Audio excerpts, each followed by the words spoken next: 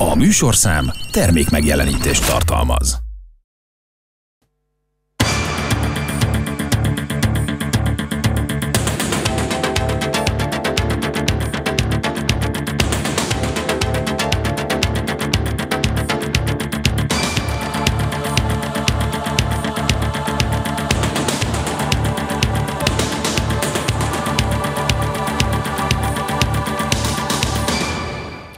Köszöntöm Önöket! A hétvégén Székesfehérvár ad otthont a 30. orvos-muzsikus találkozónak. Vendégem itt a stúdióban Lakatos János, az eseménynek a főszervezője. Köszöntöm itt a stúdióban. Köszönöm szépen. Ugye ez a 30. orvos-muzsikus találkozó, ennek van egyébként egy, hát egy címe vagy elnevezése is, ugye zenével a békéért, Igen. ami már eleve egyébként szerintem így megragadja a figyelmet. Miért is ez lett a címe ennek a találkozónak? Gondolom azért, hogy eh, jó régen indult ez a találkozó, több mint 30 éve, hiszen a zene olyan békét és nyugalmat tud árasztani az embereknek a lelkében, ami akár gyógyító hatású is lehet. És ezzel a célral is alakult meg az Egyesület, hogy ezt a zenét, amit a, a magyarországi orvosmuzsikusok képviselnek, visznek, mindenfelé játszanak, tanulják és eh, közreadják, hogy jusson el minél több helyre Magyarországon, és ezáltal talán a, a résztvevőknek is, meg a nézőközönségnek a lelkét is kicsit közelebb hozzuk a békéhez, nyugalomhoz. Ugye, ami, ami egyesületet említett, az a Budapesti Orvos Muzsikusok Egyesülete, aki, aki, aki e mögött áll, mögött az egész rendezvény mögött. Mit lehet tudni erről az egyesületről? Mennyi tagja van, mikor alakult meg? Ez az egyesület országosan nőtte ki magát, most már országos uh, orvosmuzsikus egyesület, 92-ben alakult az elődje, akkor még nem ezen a címen ment az Egyesület. Dr. Tarján Jenő, kardiológus professzornak az ötlete alapján valósultak meg az első találkozók, akkor még mindig szombathelyen volt. Egy ideig, és olyan nagy népszerűségnek örvendett, hogy mindenki kívánt, hogy az ő környékére is eljusson, mert az országból először összejöttünk, és nagyon-nagyon baráti volt, mindenki vágyakozott, hogy a következő évben találkozhassunk egymással. És akkor minden második év lett szombathely, aztán ahogy telt az idő, akkor már nem, nem fért bele a szombathely, csak a 25. találkozóban, ez egy jubileumi volt, és így most már minden évben másik városban rendezzük meg ezt a zenész találkozót. Általában három koncert, eleinte két koncert volt, de már olyan nagyon feldúzzadtunk, hogy már a három koncert is kevés. Pénteken este van egy templomi koncert, aztán a szombat délután és a vasárnap délelőtti koncert az már ilyen világi hangverseny. Ugye még itt egy kicsit az Egyesületnél leragadva, Igen. hogy hogyan kell elképzelni, ugye azt mondta, hogy országos, országos egyesület, meg hát én is úgy tudom, hogy országos egyesület, hogy hány tagja van, és hogyan tudnak, ezen kívül a találkozón kívül, hogyan tudják tartani a kapcsolatot, hogyan tudnak együtt zenélni? A találkozón kívül évközben is vannak hangversenyek. Az Egyesület elnöke, Kósáné, Kertai Dézi Szonya, aki a kezébe vette 2002 óta ő az elnöke az Egyesületnek, hát nagyon lelkesen csinálja ezt az egészet, és az ország különböző helyein, városaiban, településein szervez hangversenyeket.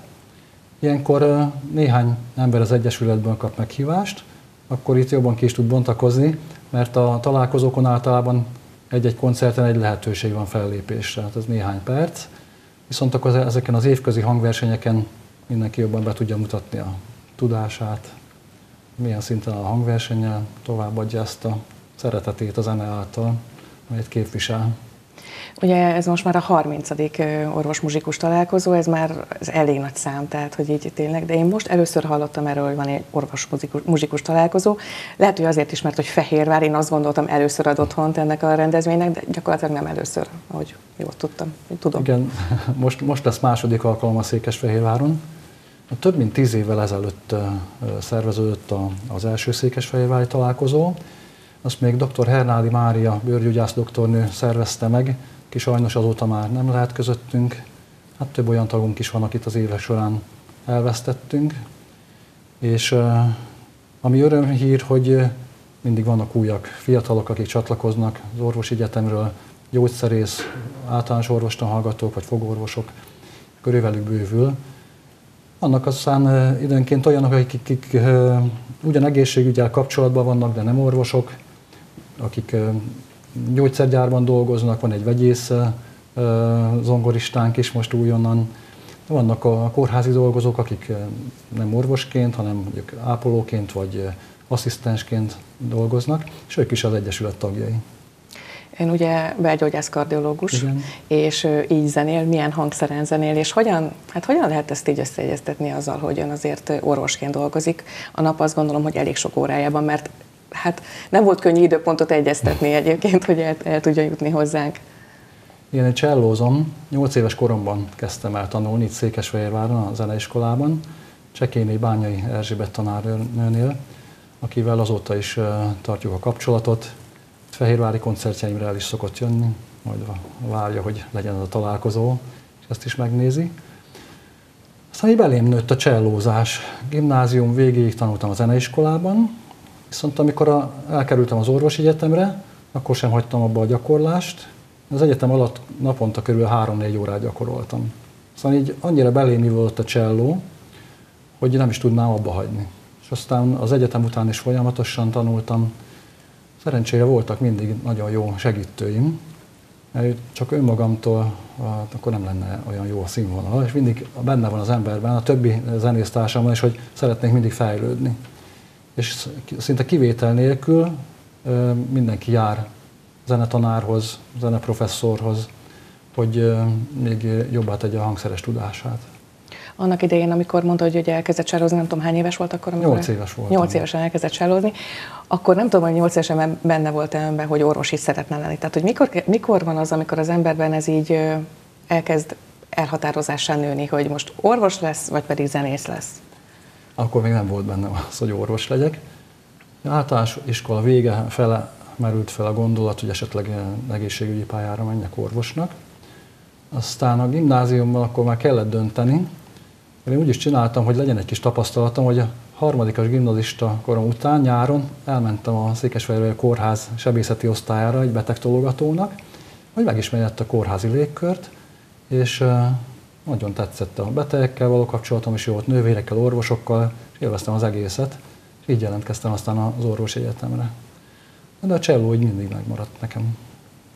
Akkor így annyira nem volt, hát ezek szerint akkor azért hamar elhatározódott, vagy hát gimnazista korában, hogy akkor az orvosi egyetem. Nem kellett lemondani a zenéről, de hát ugye nem lett úgy zenei karrierje, de valamennyire azért a kettőt lehet azért együtt, együtt is művelni. Hogyan jut ideje erre? Ezt a legnehezebb beosztani. Szóval van, amikor reggel, korán reggeltől késő estig dolgozom, akkor utána nehéz elővenni a csellót. Viszont érdekes módon, hogyha nekiállok akár este 10 órakor, akkor felfrissülök meg. Jobb kedvem lesz, levezetődik a napi fáradtság vagy stressz, nálunk hárul, mondom a többiekre is ugyanúgy, sőt, én azért most már főként a magánszférában dolgozom, tehát úgy osztom be magamnak, hogy az nyugalmasabb legyen. Az állami rendeléseken, kórházban ott azért eh, nagyon nagy a hajtás ahhoz képest, tehát sokkal több beteget kell ugyanannyi idő alatt ellátni. Nekem ennyi, ennyi plusz nyugalmam van, és hogyha jönnek koncertek, akkor még tudom szabályozni is magamnak, hogy esetleg akkor a nap valamelyik szakát kihagyom, és nem töltöm a betegekkel. Ugye mondta, hogy azok, akik az orvos muzsikus találkozóra jönnek, ők járnak tanárhoz. Hát önnek ez hogyan, hogyan fér bele az idejébe, vagy, vagy hogyan, hogyan készül fel egy ilyen találkozóra? Én nem rendszeresen járok, hát eleinte sűrűbben, és hogyha van új darabom, akkor van egy nagyon kedves ismerősöm, Mód Orsoly, aki a Budapesti Fesztivál zenekarnak a cellistája, tehát nagyon-nagyon jó, és nagyon jól is tanít. Ezen kívül én járok kurzusokra.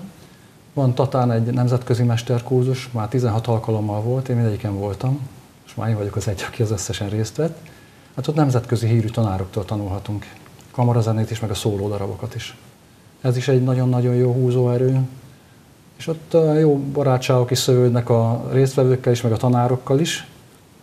És hát ki is emelném onnan Botvai Károly tanárurat, aki már 90 éves, de még tanít a Zeneakadémián kamarazenét.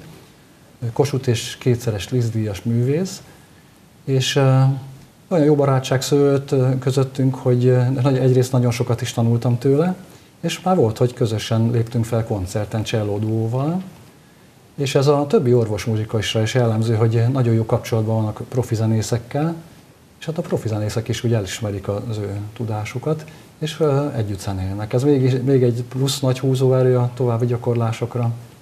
Nagyon inspirál minket. Mennyire vannak egyébként sokan így az orvosok között muzsikusok, zenészek?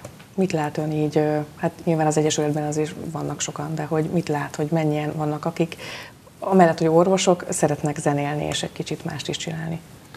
Egy százalékos arányt nagyon nehezen lehetne megállapítani. Az országos egyesületben kb. 80-100 főtag van, de ezen kívül még rengeteg, a, akik az egyesületen kívüli orvoszenészek.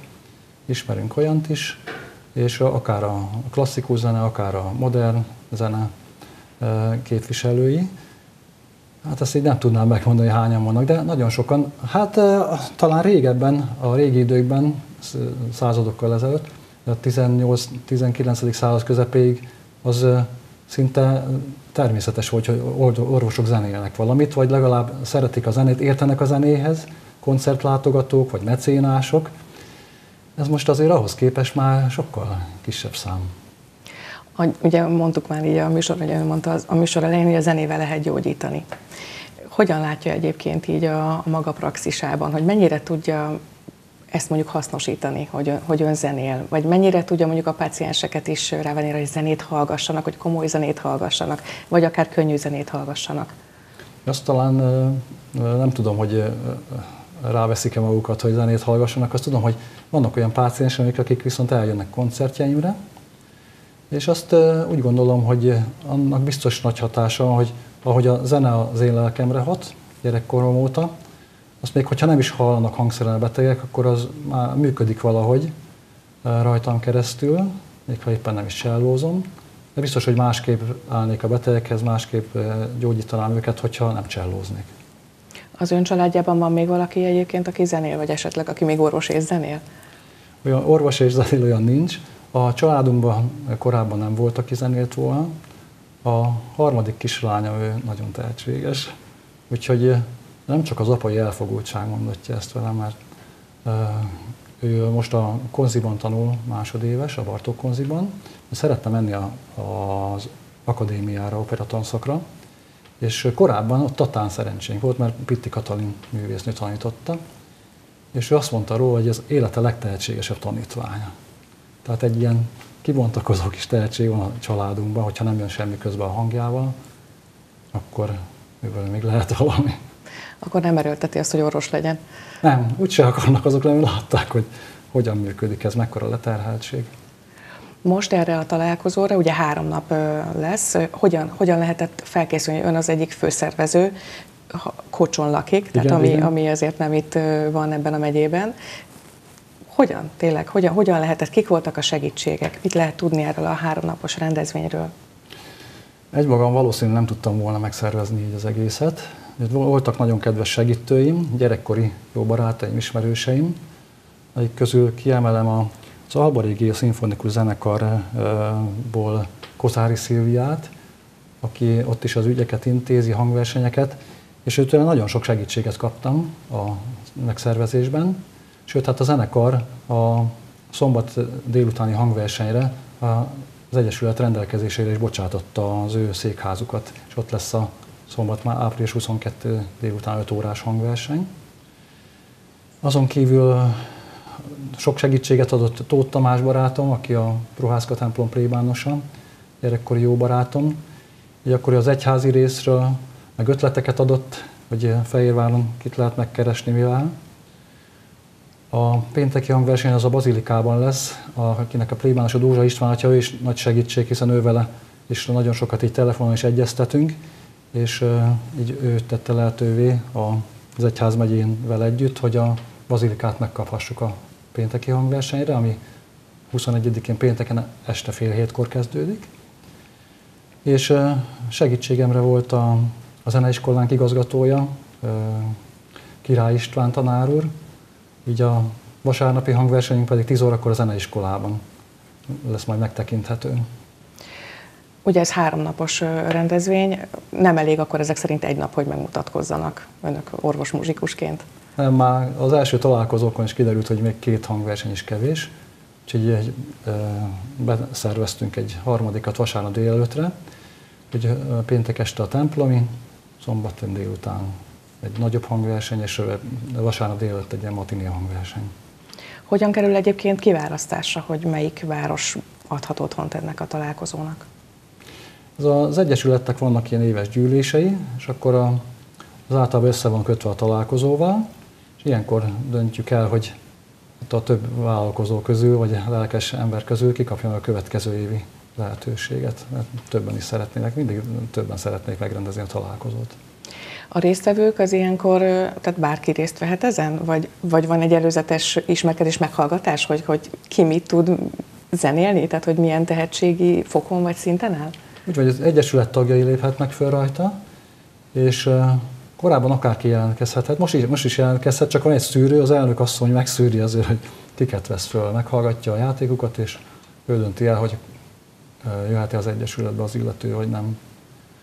Mondjuk én azért nem értek teljesen egyet, hogy szerintem akárki, ha zenél az őszintjén, boldog lenne, hogyha ha előadhatja magát, csatlakozhat egy jó társasághoz.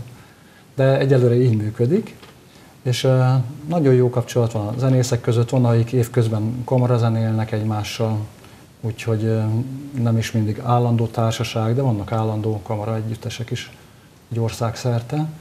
Úgyhogy az évek során aztán nagyon jól megismertük egymást. Milyen hangszereket kell elképzeljünk, hogy mi, milyen hangszereken fognak zenélni majd az orvosok? Az első hangverseny az azért is van templomban, mert sok organista van, hogy több orgona szólót is fogunk hallani.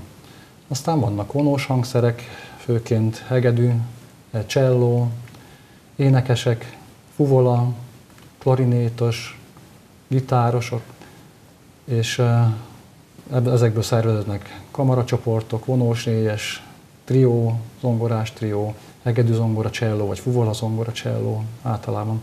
Ezek vannak soron, és az idén is fog jönni a Budapesti Szemelweis Egyetem időzenekara, akit Tardi László vezényelő, a Mátyás templom karnagya volt, Lizdíjas művész, több mint 50 éve vezeti a zenekart, és a pénteki hangversenyenek őket is meghallgathatjuk.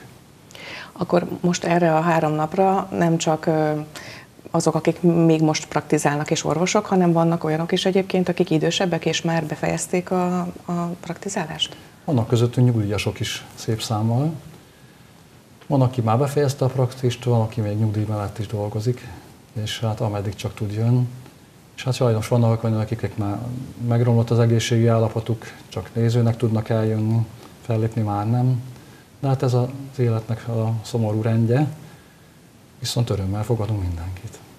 Hányan jönnek körülbelül? Hogy, hogy tudtál mondjuk a szállást megszervezni? A szállást úgy szerveztük, hogy megbeszéltük három szálláshelyen, hogy lesz az a rendezvény, és akkor, hogy egy időintervallumot tartsanak fönn, hogy be lehessen jelentkezni. Aztán van, aki ezen kívül is esetleg, ha szeretne szállást, akkor más helyen is tud találni. Úgyhogy ez is így külön akkor le kellett jönnöm Fehérvárra, de nagyon jó, mert jó emberekkel ismerkedtem meg, akár a szállodák megszervezésében is, vagy a hangversenyek megszervezésében, és egy jó érzés volt így a szervezésnek. Ez a része, hogy találkozhattam másokkal, megismerkedhettem jó emberekkel. Meg hát nyilván az, hogy Fehérvári volt, az egy, az egy nagy segítség lehetett így a szervezést illetően. Igen, egyrészt eh, volt, akit ismertem, de volt, akiket nem, és akkor most ismerkedtem meg velük. Ennek a három napnak egyébként van megmérettetése is? Tehát, hogy itt vannak díjak, amit így mondjuk el lehet nyerni? Vagy hogyan kell elképzeljen? Nem, ez csak hangverseny, úgyhogy örülünk egymásnak, meg a közönség is örülhet majd nekünk remélhetőleg. És csak simán szép hangversenyek. Nem, nem is jó a versengés szerintem ilyen helyen, úgyhogy nincsenek díjak. Ugye három helyszínen lesz, ezt éppen akartam, most már elmondta nagyjából Igen. a helyszíneket, de most újra elmondhatjuk, hogy, hogy miért ezek, jó, az egyházzenét azt értem, hogy miért, és hogy a másik kettő hogyan alakult, hogy pont ezek a helyszínek, hiszen azért a közösséget, közönséget tekintve, hát kevesebb fér be mondjuk a Herman László iskolába, azt gondolom, mint mondjuk a Szent István Székes Egyházba.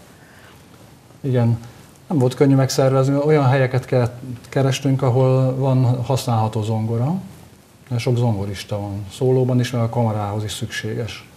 És akkor ez volt az egyik fő cél, hogy egy olyan helyen szervezzük, vagy kettőn, ahol megfelelő zongora van. És amit hát az Egyesület ugye nem túl sok pénzzel gazdálkodik, és hogy akik, ahol megkaphatjuk a termet támogatással, és hát ezúton is nagyon nagy köszönetet mondhatunk, azt hiszem mindegyik támogatunk, mindegyik helyszínen támogattak bennünket, és még azon kívül is voltak támogatóink, akiket nagyon szívesen megemlítek itt, mert anélkül nagyon nehéz lett volna megszervezni ezt a találkozót. Úgyhogy a, a, az egyház részéről Püspök úr, aki a, egyébként a rendezvénynek az egyik fővédnöke, másik fővédnök a polgármester úr, dr. Csál Parkol is András polgármester úr, és a, a templomból, akit már említettem, a plébános úr Dózsa István atya, azon kívül a, a, az Szimfonikus Zenekar, a másik nagy támogatónk, akik a termet is a rendelkezésünkbe bocsátották, és a szervezésben nagyon sokat segítettek, és hát a zeneiskola, ahol akkor szintén a matiné hangversenyt, vasárnap délelőtti hangversenyt megrendezhetjük. Talán akkorák a termek az eddigi tapasztalatok alapján, hogy majd befér azért mindenki. Vasárnap délelőttre már általában kevesebben szoktak jönni. Bazilika remélhetőleg megtelik, meg a zenekar székháza is, ott azért többen elférnek, és bárki szeretettel várunk. És még a támogatók közül szeretném megemlíteni a Magyar Orvosi Kamara Fehérvári szervezetét, ezen kívül a Székesfehérvár önkormányzatát, és hát a az egyházmegyét, a Székesfehérvár egyházmegyét. Remélem nem hagytam ki senkit. Most akkor kicsit a napokról fogom kérdezni, tehát hogy az első nap az ugye 21-e péntek, 17 Igen. órakor ugye a Szent István Székesegyházban. A Szent István Székesegyház az, az fél hétkor kezdődik. Ja, bocsánat. Fél a, az uh, ilyen esti hangverseny, és a szombati lesz, ami délután 5-kor. Délután 5 órakor kezdődik a Albarigé Szimfonikus Zenekar székházában, és vasárnap délután 10-kor meg a Herman László Zeneiskolában, Városháztéren. Jó, és akkor a Székesegyházban ott, ott mire számítanak? Számítanak, ugye már mondtuk az orgonát. Igen, lesz orgona, akkor énekesek, hangszeres játék is lesz, hegedű, orgona kísérettel, aztán lesz egy vonós négyes, az pont a mi vonós négyesünk lesz, a Bójai vonós négyes, akikkel már közel 30 éve játszunk együtt, hát nagyobb megszakításokkal ugyan. Főként ilyenek lesznek. Az énekesek és az orgona lesz talán a legtöbb. És akkor a második napon, ami lesz majd a... Hol lesz? A Alvarigé Szimfonikus Zenekar székházában. Az lesz délután ötkor. Ott is lesznek ének, zongora szólók, aztán kamarazenék, hegedű, zongora, cselló, aztán szólóhangszerek, cselló, hegedű, és uh, amit még kifelejtettem, ugye a bazilikám lesz akkor az orvozenekarnak a hangversenye. És uh, hát hasonló összeállítás lesz a többi helyen, csak orgona helyett általában az ongora, a kamarákban, meg a szólókban, és vasárnap a zeneiskolában is lesznek uh, szólóhangszer, szintén lesz cselló, hegedű, fuvola, fuvola, cselló, zongora, ilyen összeállítás, énekesek, ezekből lesz a mostani hangverseny összeállítás. Ugye mondta, hogy van vonós négyes, amiben ön is csellozik. Hát hogyan találkoznak így, vagy hogyan tudnak, mert hogy így, így hogy csellozik, így gondoltam, ha egyedül készül akkor erre a, erre a fellépésre, de hát ezek szerint akkor van más, akivel együtt össze kell hangolódnia. Hogyan sikerül, hogyan találkoznak, hova valósiak a vonós négyesnek a többi tagjai? A vonós négyes elég szerteágazó, mert van budapesti tagunk, aztán én Kocsról járok, és van még a Tiszaújvárosból egy hegedűs lány, és így szoktuk összehozni általában Budapesten a próbánkat. Hárman vagyunk orvosok egyébként a mi vonós négyesünkben, és a brácsásunk, ő viszont profi brácsás, a budapesti konziban tanít, és így az, az is jó, hogy a darabok meg, megtanulásához a kezdetektől van egy profi segítségünk. Az utóbbi években nagyon keveset kamaráztunk a vonós négyessel, de most majd, hogy a Covid járvány is lezajlott, most majd új út erővel úgy tervezzük, hogy most már sűrűbben fogunk találkozni, de a találkozó, erre az orvoszenész találkozóra mindenképpen el szerettünk volna jönni. És most a találkozóra mennyit tudtak gyakorolni? És hogyan választották ki a darabokat? Mit, mit, mit hallhat majd a közönség, így a vonos négyes tekintve? Hát itt a, a találkozón, ugye mindenki csak egy darabot adhat el, vagy egy, egy műből egy részletet, egy tételt, Mi most a Joseph Haydnnek az egyik vonós négyeséből, a, van egy külön neve a Quinten Quartet, hogy quint lépésekkel kezdődik. Ennek az első tételét fogjuk előadni. Azt meg sem merem mondani, hogy hány próbával, mert nagyon kevés lesz. Ezt már játszottuk, ezt a darabot korábban is, úgyhogy a vonós négyesnek az a kezében lesz. Akkor most azért valamennyit előtte tudnak gyakorolni, gondolom én kint a helyszínen, vagy hogyan, hogyan Helyszín, a... A helyszíneken általában ilyen rövid hangpróbát lehet majd tartani, hogy előtte kell mindenkinek összehozni a próbáikat, még a fesztivál előtt. Otthoni egyéni gyakorlás is van, és akkor összejövünk, akkor hát természetesen akkor összejátszuk. Akkor több órás próbákat tartunk. Mert azért teljesen máshogy szól mondjuk a Székesegyházban egy vonós négyes, mint egy kisebb kamarateremben. Igen, e- ehhez van ez a hangpróba, 10 perc körülbelül, a, a 10-15 általában. Akkor ez elegendőnek kell, hogy legyen.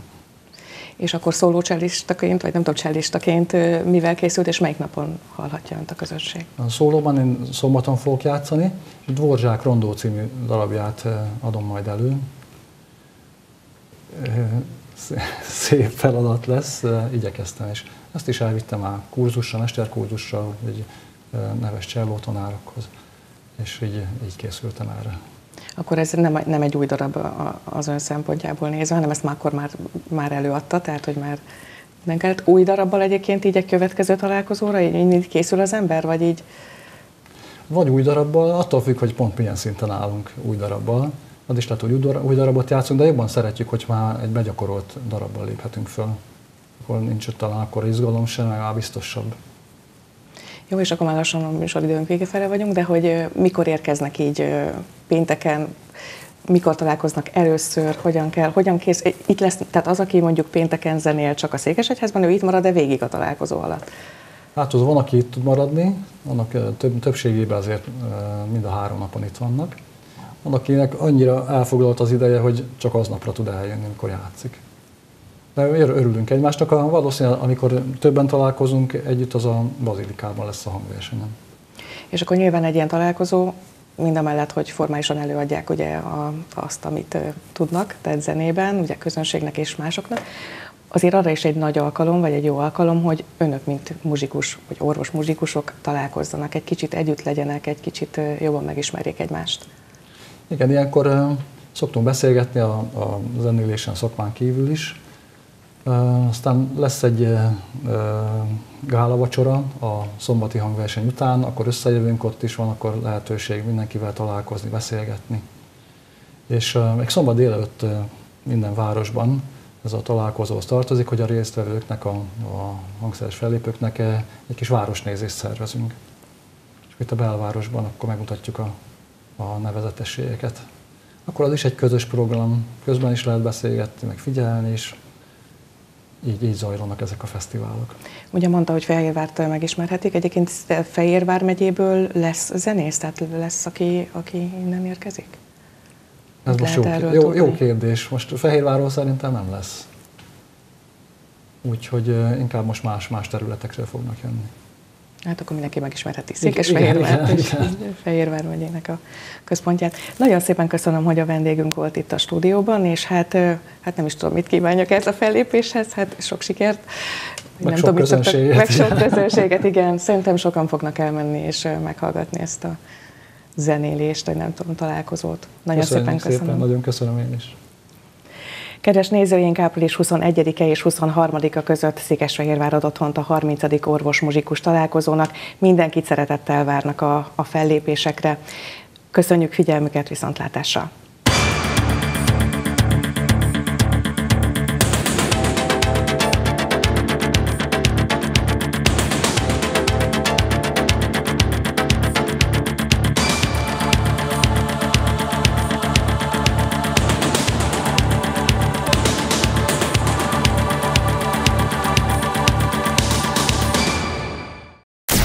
Műsorszám termék megjelenítést tartalmazott.